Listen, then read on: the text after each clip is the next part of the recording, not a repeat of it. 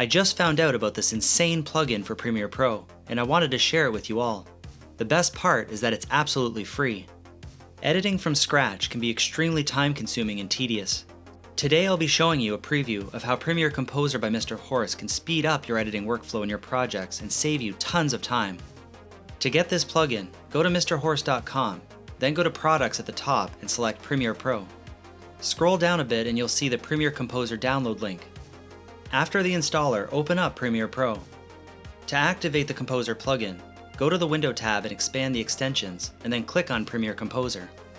Once open, expand the Starter Pack field and you'll see a bunch of headings from text boxes to sounds and even transitions. To use a transition, simply expand the field and click and drag it onto your timeline, but ensure the separation of the clips lands perfectly between your two clips on the timeline. Overall, this plugin is fantastic, and the easy drag and drop method of adding effects and transitions will save you tons of time, and it's literally free.